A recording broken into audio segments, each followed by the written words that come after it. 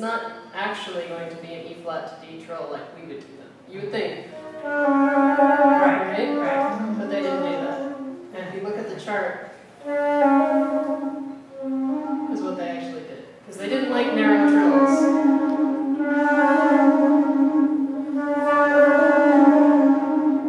Okay, but this is one of those things where you have to be pragmatic. Okay, you're playing in an orchestra. The oboes are not going to do that. So what do you do? You do what blends in.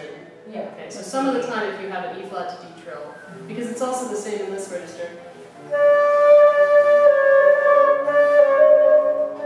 Okay, so if you're playing alone, yeah, you have a choice. okay. Okay, and in some cases, it's whether you're going to be brave or not.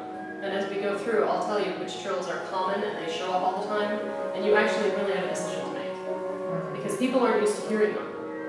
Okay, so it's sort of, you know, if you're playing a concert for a bunch of, you know, Baroque zealots, you can pretty much do what you want because you know that they're expecting a different sound. But if you're playing, you know, for your grandparents and your family at, at church, then maybe you want to tone down the crazy trills.